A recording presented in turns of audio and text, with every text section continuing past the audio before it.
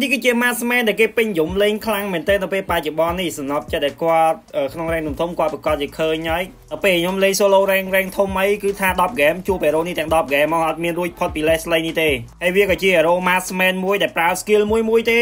បាញ់មួយមួយទេក៏ប៉ុន្តែគឺមួយគុណភាពហ្មងអត់ចេះបាញ់សាប់ញាប់ម៉ាស៊ីនដេដូចម៉ូស្កូទៅអីក៏ប៉ុន្តែមកគ្រាំគ្រាំហ្នឹងគឺគុណភាពបើថា late game វិញ Massman តែពីរគ្រាប់ដឹងតែទៅហើយ ទោះបីសល់ឈាមមិនតិចបលែង LT ដឹងតែអត់រួចខ្លួនហើយដឹងតែស្បៃតែម្ដងហើយទោះបី hero ពាក់ defend ច្រើនយ៉ាងណាក៏ដោយក៏នៅតែអត់អាចទប់ជាមួយនឹង damage hero នេះដែរវាជា hero មួយដែល true damage តែម្ដងមកអញ្ចឹងអ្នកគ្នាពាក់អាវក្រោះចង់ពាក់អាវពីដៃតិចក៏ទប់ជាប់ជាមួយ hero Leslie ដែរគឺវានៅតែបាញ់ចូលធម្មតាជួប hero នេះទៀមទី hero គឺមានឈាមច្រើននឹងតែម្ដងស្នងទៅដល់គ្នាយើង hero ដែលយើងមានឈាមច្រើនគឺអាចទប់ជាមួយ Leslie បានយូរបន្តិច តែបើរោឈាមផយផយដឹងតែទៅហើយហើយរោឈាមផយទោះបីពាក់ឲ្យតាន់យ៉ាងណាក៏ដោយគឺដឹងតែ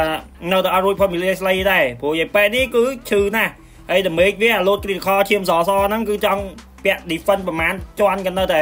បាញ់ចូលធម្មតាដែរអាទ្រូមេឃនេះគឺទុបអត់ជាប់ទេហេរ៉ូនឹងវាអេមកន្លែងហ្នឹងដូច្នេះហើយទៅពេលស្នប់ចិត្តលេងជួបហេរ៉ូនេះ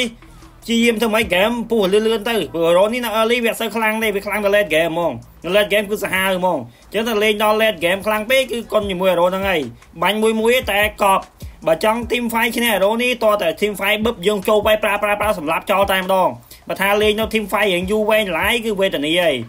វេទនាមួយ hero ហ្នឹងណាដល់យូរ hero លុក hero ហ្នឹងឲ្យដាច់បាត់ហ្មងគឺ gameplay ស្រួលលេងតែឲ្យ Leslie នេះប្រើ skill ចុះឡើងចុះឡើងមកគ្រាប់មកគ្រាប់បន្តចុះបន្តឡើងបន្តចុះបន្តឡើងចប់ហើយមក team fight នឹង Leslie ໄວអហ្មងក៏ប៉ុន្តែ hero Massman មួយនេះគឺវាអត់ស្រួលលេងប្រហែលទេត្បិតតែវាយើងគេគិតថាប្រើ skill ទៅໄວគេប្រើ skill ទៅໄວគេទៅគ្មានពិបាកតាមពិត hero នេះបើសិនយើងលេងអត់ស្ទាត់ជាមួយវាសោះក៏យើងពិបាកក្នុងការលេងដែរហើយវា អត់ស្រួលទេអត់ស្រួលលេងប្រហែលទេហើយនៅ early ហ្នឹងបើសិនអ្នកគ្នាអត់សូវច្បាស់ជាមួយ hero ហ្នឹងយក hero ហ្នឹងមកលេងគឺដល់តែ space របស់គេច្រើនហើយដឹងតែ fit ច្រើនហើយទោះនៅ late game ក៏ដោយបើសិនយើងអត់ដឹងរបៀបចូលវៃគេអត់ដឹងពីរបៀបគួរយកអាឡង់កន្លែងណាបាញ់គេអត់ដឹងរបៀបហ្នឹងគឺពិបាកលេងខ្លាំងមែនទែនសម្រាប់ hero ហ្នឹងអាចនឹងខាគេងាយស្រួលធ្វើស៊ីខ្លាំងមែនទែនតែម្ដងដូច្នេះហើយវាខ្លាំងមែនវាតម្រេខ្លាំងមែនក៏ប៉ុន្តែតើយើងស្ទាត់ជាមួយ hero ហ្នឹងដែរយើងត្រូវមានអេឡង់ក្នុងការបាញ់គេគួរតែវាយគេកន្លែងណាគួរតែបាញ់នៅពីកន្លែងណាទៅយើងគួរតែកិច្ច មិនទៅណាទៅណាដើម្បីយកអាឡង់វាយគេបើថាមិនអញ្ចឹងទេគឺតែចប់ហើយព្រោះអេរ៉ូនេះគឺវាយបានតែមួយមួយមួយទេយើងអាចឈោមាញ់សាប់ញាត់ដូចម៉ាស៊ីនទេដូចម៉ៃយ៉ាដូចបូស្កើអីទេ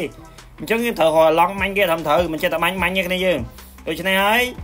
សំណងពរឲ្យណាប់ចិត្តតែចេះស្ទើស្ទើល្មមៗសូមមេត្តាកុំលេងអេរ៉ូនេះអីបាទកុំយកមកមកលេងអីបើមិនចេះអត់ច្បាស់ទេអាចតែ classic ទេអីសិនទៅបើថាតែក្នុង rank អីគឺនឹងគេជេរអីហើយមានសំណប់ចិត្តខ្លះគាត់ឃើញគេលេងអេរ៉ូនេះស្រួលស្រួលអេរ៉ូនឹងងងស្រួលបាញ់ឈឺ យកមកលេងតែទាំងតែខ្លួនណា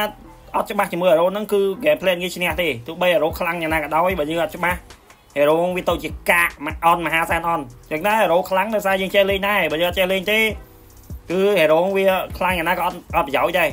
គឺអត់ប្រយោជន៍ហ្មងគឺដឹងតែស្ពៃរបស់គេមកហេតុតែយកមកលេងនឹងអាតួសាយហើយហើយ game play នេះអ្នកនេះនាំចិត្តឲ្យមើលឲ្យស្លៃរបស់យើងបានគឺដើម្បីកប់បាទឈឺខ្លាំងមែនតើនាំចិត្តដល់គ្នាសម្រាប់ឲ្យធំនៅចុងវីដេអូហើយវីដេអូមានប៉ុណ្្នឹងទេសម្រាប់ចិត្តដល់គ្នា ចូលចែកកុំភ្លេចជួយ like ម្នាក់មួយផងអរគុណច្រើនបាយបាយ